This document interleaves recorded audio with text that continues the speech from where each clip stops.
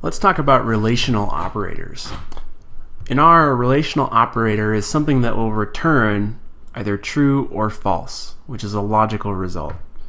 So, for instance, if I want to check whether 1 is equal to 1, I can type in 1 equals equals 1. And we get true out. So yes, 1 is equal to 1. This is really useful for vectors. Say I've got a vector v that is 1 through 10. And I want to know which elements in v are equal to some number. So for instance, I could check to see which elements in v are equal to 1.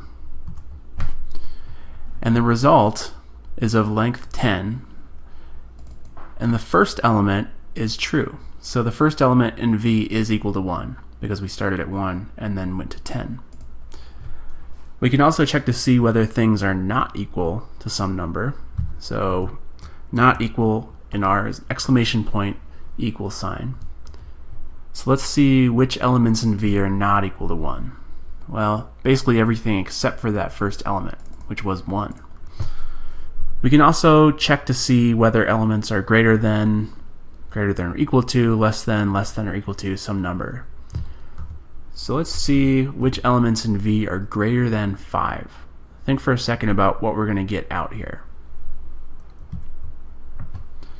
Well, we get 5 falses, and then elements 6 through 10, which are the numbers 6 through 10, are all greater than 5, so it's returning true. Now let's look at V greater than or equal to 5. This is almost identical, except now the fifth element is true, because that is the number 5. Let's think for a second about the structure of these results. So I'm going to store our result in an object called test.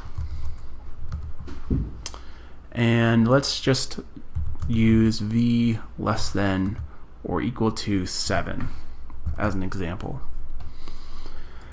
Well, what is the class of test?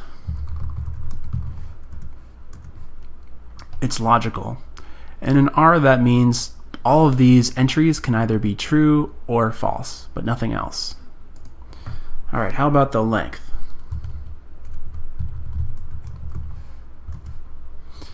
Well, test is of length 10, and by default, the length of this result is always going to be the same length as the length of the longest input.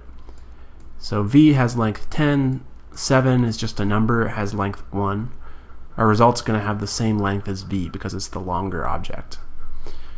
And last, we can also use this str structure function,